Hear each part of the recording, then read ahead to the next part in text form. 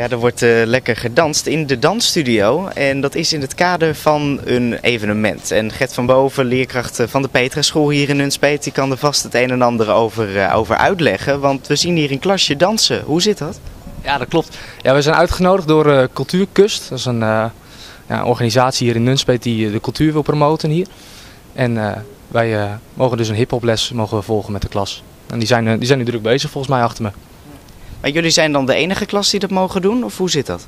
Nee, alle groepen 5, 6 zijn uitgenodigd. Eh, volgens mij hier in Nunspeet, maar volgens mij ook, kan het ook wel zijn daarbuiten.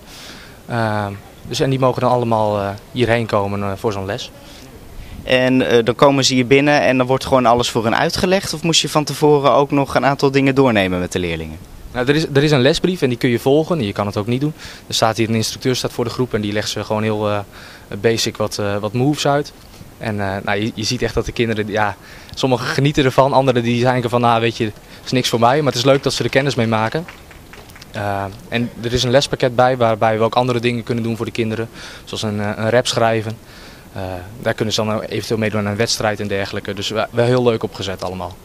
En hoe, hoe gaat dat dansen? Het dansen gaat hartstikke goed. Ja, natuurlijk heeft de ene meer aanleg voor dan de ander. Maar je ziet echt kinderen zie je, zie je stralen en zie je van... dat is echt hun ding, zeg maar. Dat is leuk om te zien. Een leuke, leuke invulling van de ochtend in ieder geval. Het is even wat anders. Ja, absoluut. Het is weer wat anders dan rekenen taal, hè? Ja, niet minder belangrijk.